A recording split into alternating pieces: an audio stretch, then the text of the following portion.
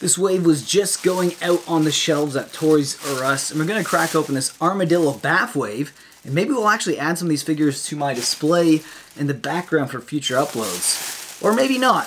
Let's take a closer look at this wave and see if it's worth buying.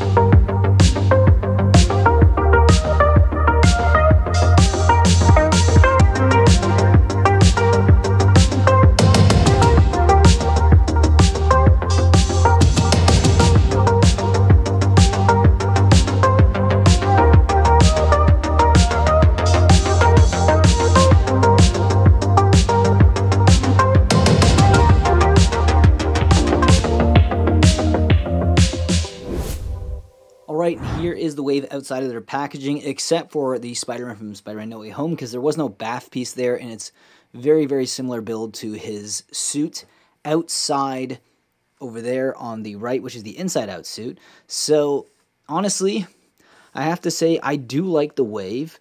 It's one of those waves that if you really like movie figures, it's probably better for you. I personally prefer the comic book accurate style figures, so I don't have any display where I have movie figures, but maybe I maybe I should. Maybe this is a sign that I should be getting into it, but I have to say I have to say I love this build a figure though. Right here, armadillo, very very menacing. He's very bulky, he's hefty, which I do like for Build-A-Figures. I don't typically like to Build-A-Figures that are smaller and wiry, something that could easily be on its own card. This is definitely a beefy figure.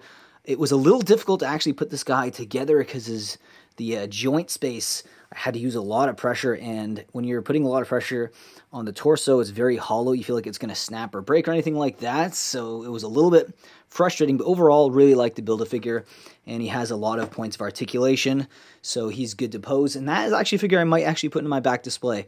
The Doctor Strange, it's unbelievable how much this figure's likeness resembles the actor. It's unbelievable. You know, nowadays with 3D printing, what they can actually achieve. It's uh, quite shocking. Now, he has a lot of pieces that go with him.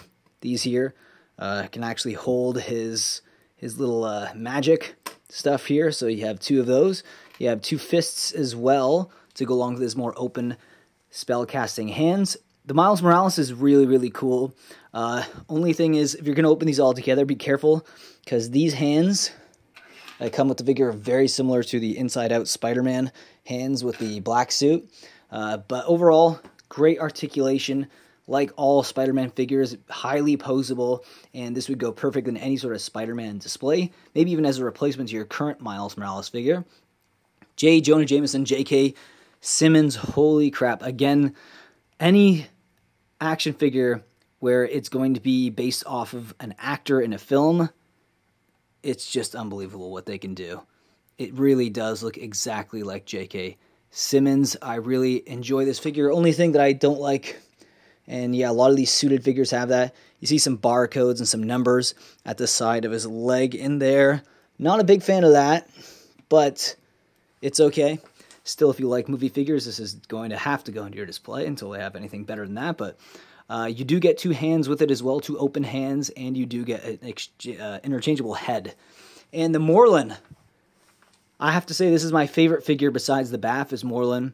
Uh, really, really posable. I love the articulation. I love the two head sculpts. This one right here with the smile, it's more menacing than the one over there that I have displayed that comes with the figure. But overall, very, very cool. I, I like the the suit that he comes with. It really does bring me back to the comic books. And I have to say, Shriek, speaking of comic books, Maximum Carnage, one of my favorite comic book series, if I am going to display my symbiote figures, I would have to display Carnage's girlfriend. This is a absolute must-have for any Spider-Man collector. So that's probably my second favorite figure of the wave. And of course, the Inside Out Spider Man suit. Not too bad. Obviously, it's something if you are into collecting movie figures, that's probably a figure that you're going to need. But overall, it's a pass if you're not into movie figures. But if I was going to rank these figures, hmm, I would have to say my favorite is the BAF over here. Have to say that's my favorite. And my second favorite would be Shriek. Then I'd say Morlun. I'd say Morlun would be my third. And then I would pick the Miles Morales. Um, Doctor Strange, just because his likeness is so spot on, I would say the Doctor Strange. And then it would be a three way tie between Spider Man from No Way Home, the regular costume, and the Inside Out costume with J.K. Simmons, J. Jonah Jameson at the last spot. But overall, I still think these are a fantastic wave. I think it's a, if you're really into Marvel Legends, this is a not a must buy, but it's on a scale of 1 to 10, I would give it a 7. So, you know, buying it at retail price is a little a little steep. This is about $300 Canadian, so it is expensive, but if I were hmm, if I waited a bit, I would try to grab this whole wave for around $220 Canadian. And if that's possible, I think it's a, a good buy. But at $300, it's a bit of a pass for me because there's just not enough standout figures here, uh, although it is still a decent wave. Let me know what you guys think of this video down in the comment section. I know it's not a Magic the Gathering video, it's a Marvel Legend video, but if you want to see more Marvel Legend figure reviews and just Marvel Legends videos in general, let me know in the comment section, and I'll try to bring those to you. Alright, see you guys in the next one.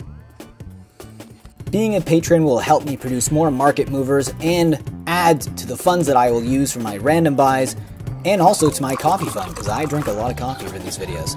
And here you can see a link below in the description that will give you all the tiers and what you get in each tier. So I hope you guys click and think about joining. And with that, I'll see you next video. Think about uh, supporting the channel in that way. If not, subscribe, like, leave a comment, and I will see you again in the next video.